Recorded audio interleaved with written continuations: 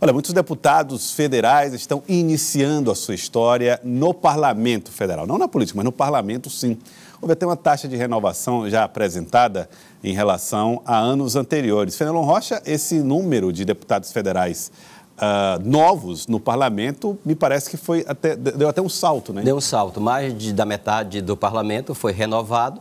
Isso gerou uma expectativa grande por parte dessa nova representação, esperando-se aquela história da nova política. Uhum. Isso também deve ter gerado é, alguns, alguns desassossegos para os novos políticos. Que tiveram que pegar o time da Câmara dos Deputados. Eu estou aqui ao lado da doutora Marina, ela que está no primeiro mandato, fez está concluindo seu primeiro ano, concluiu seu primeiro ano de mandato na Câmara dos Deputados em Brasília, faz parte da nossa bancada, a bancada piauiense, e conversa conosco a partir de agora. Bom, doutora Marina, boa tarde, seja bem-vinda aqui ao Jornal do Piauí. Primeiro, fala desse, desse primeiro ano, essa impressão que a senhora teve lá na Câmara dos Deputados. Já deu para se acostumar?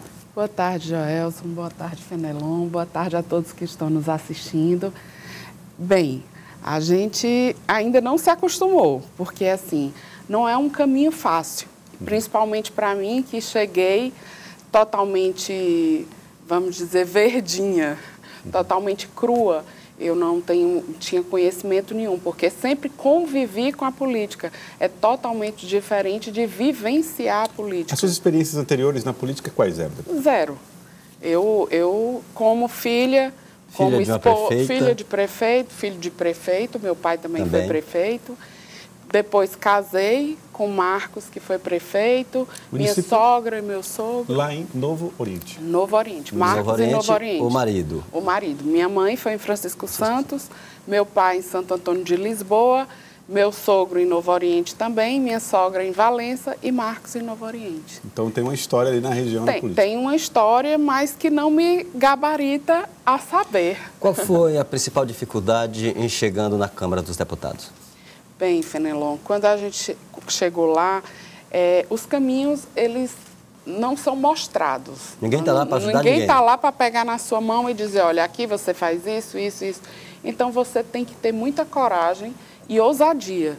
E assim a gente fez. A gente foi atrás de abrir as portas. As portas, elas estão entreabertas. E a gente chegou lá e conseguiu, de uma certa maneira, fazer um relacionamento principalmente em ministérios, relacionamento é, na parte externa da, da Câmara, que foi por onde eu decidi começar. Ok, eu vou passar para Lídia Brito no cidadeverde.com, que tem uma pergunta a fazer. Lídia.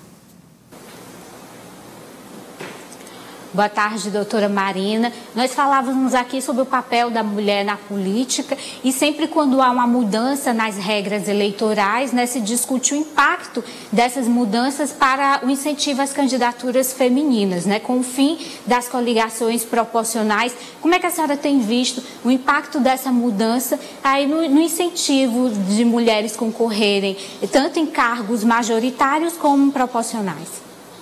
Bem, Primeiro, é de extrema importância a participação feminina em qualquer cargo, em qualquer situação. Primeiro, não porque a gente é melhor do que ninguém, nós somos todos iguais, mas a gente sabe que o ponto de vista feminino, a sensibilidade, o senso de, de humanidade é diferenciado. Então, é de extrema importância a necessidade da mulher participar também da política. E também nós somos quase 52% da população, nada mais justo ter uma representação dos nossos ideais, das nossas lutas em defesa da mulher.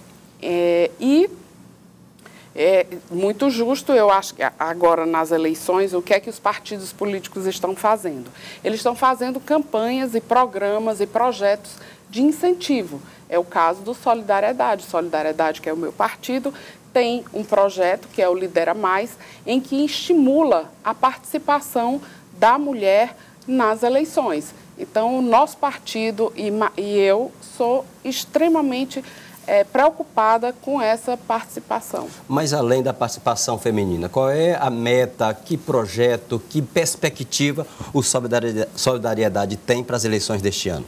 Bem, nas eleições desse ano, a gente quer, de toda maneira, aumentar os números, tanto aumentar a representação nas câmaras é, nas vereadores. câmaras de vereadores, também nas prefeituras, enfim, aumentar a, tanto os participantes femininos como masculinos também. Hoje o partido tem três. Nós temos três, três prefeitos, prefeitos, né? O prefeito de Valença, prefeito de Novo Oriente do Piauí e o prefeito de Luzilândia. Tem uma meta? Bem, as metas, assim, em números, quem está desenvolvendo é o deputado Evaldo Gomes, juntamente uhum. com o Marcos. Eles estão muito preocupados com esses valores, mas a meta sempre é ampliar. Ampliar mais. Agora, deputada, o, a, a senhora falou a respeito dessa questão da participação da mulher. Como é que a senhora sentiu no Congresso a receptividade, ou como é a receptividade a parlamentares mulheres no dia a dia, no trabalho, na formação de comissões, no respeito às posições? Bem, isso era uma preocupação muito grande é, minha, de chegar num ambiente que é quase que essencialmente masculino. Nós somos 77 mulheres de 513, então é uma participação muito pequena. E então eu tinha muito essa preocupação, meu Deus, como será o trato? Será que vão me tratar com igualdade? Mas sim, a gente é tratado sim com igualdade, tanto dentro do Partido Solidariedade, o presidente Paulinho tem essa preocupação, o líder Coutinho tem essa preocupação. No, no, no, Solidariedade mesmo, nós só somos duas mulheres de 14 deputados. Então lá a gente reina.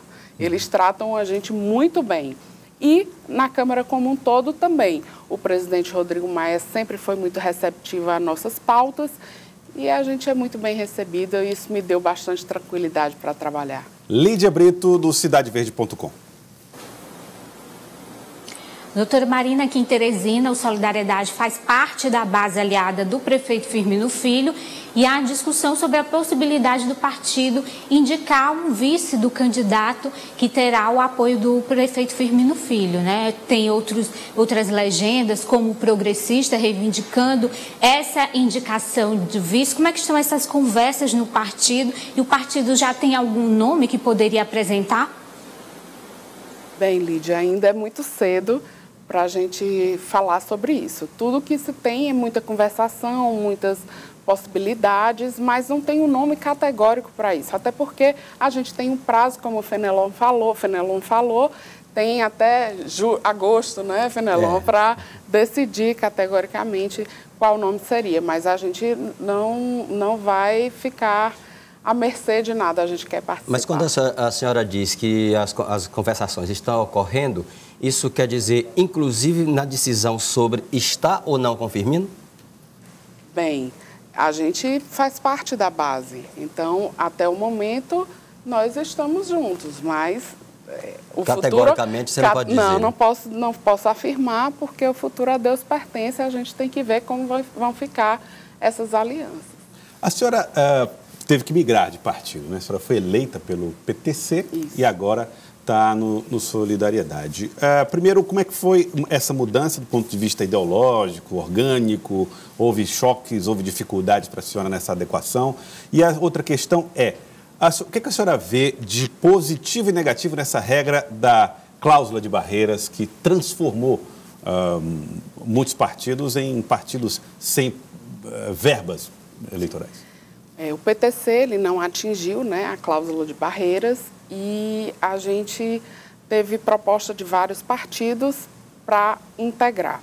Bem, e eu gostei muito do que o Solidariedade veio a nos oferecer, porque não é um partido que ele tem uma linha rígida. Como eu já disse em outras oportunidades, a gente senta sempre, toda pauta que chega, a gente senta e a gente conversa e a gente decide, decide unido como vai votar. Não tem, porque o presidente Paulinho é sindicalista, tem que ser dessa forma, porque o líder é de extrema direita, tem que ser dessa maneira. Não, a gente tem uma flexibilidade, a gente não polariza, a gente é pelo Brasil pela melhor pauta que a gente está achando naquele momento. Mas fecham questões, né? Dizer... A gente fecha questão.